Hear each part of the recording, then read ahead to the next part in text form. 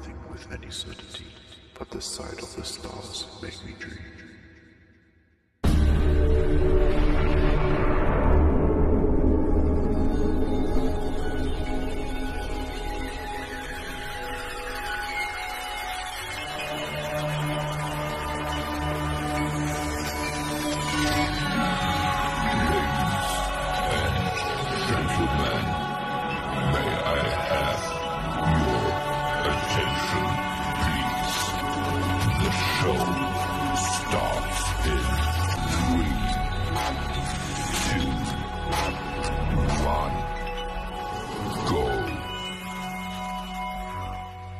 Good day everyone.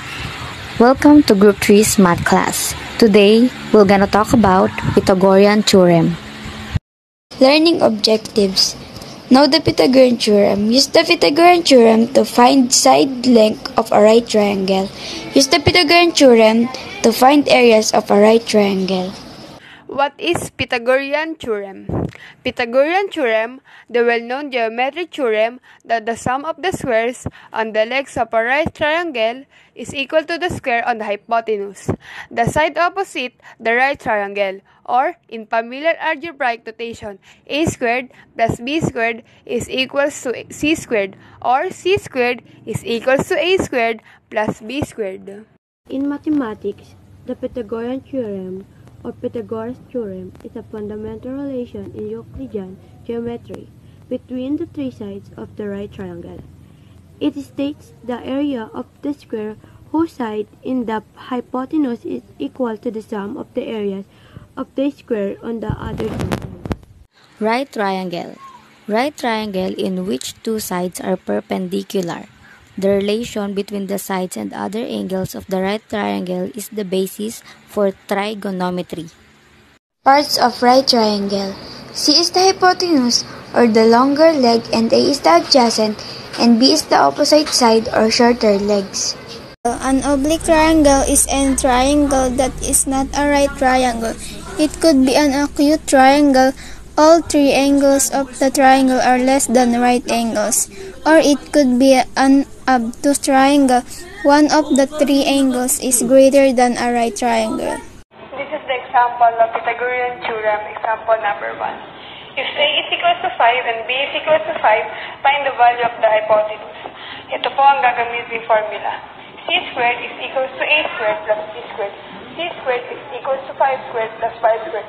Dahil ang value po ng A at B is 5, then C squared is equal to 25 plus 25. Dahil pinag-multiply lang po natin ang 5 sa kanyang sarili, kaya naging 25 plus 25.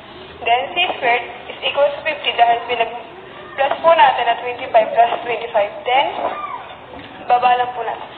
C squared is equal to 25 times 2. Dahil hahanap po tayo ng number na may isang square root ang isa at ang kakalabasan po ay 50 kapag pinag-times po yun. Then, C squared is equal to 5 square root of 2 dahil lang square root po ng 5, 25 is 5, then 2.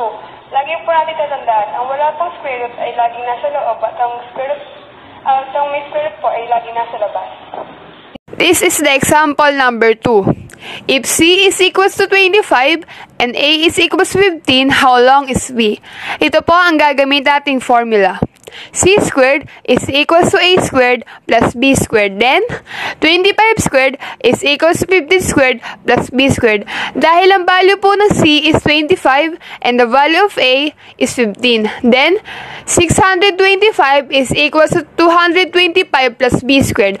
Dahil 25 times 25 is equals to 625. Then, 15 times 15 is equals to 225.